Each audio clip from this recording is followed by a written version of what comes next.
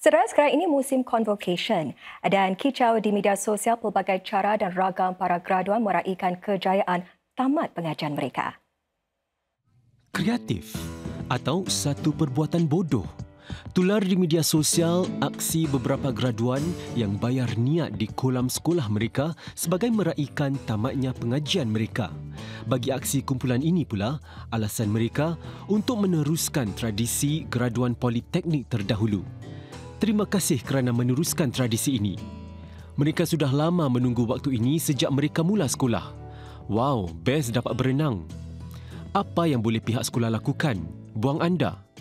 Namun terdapat beberapa pihak yang tidak begitu senang dengan aksi para pelajar. Ini adalah kerja gila. Bayangkan jika pihak sekolah menarik balik ijazah mereka. Nampaknya dia tidak belajar apa-apa di sekolah.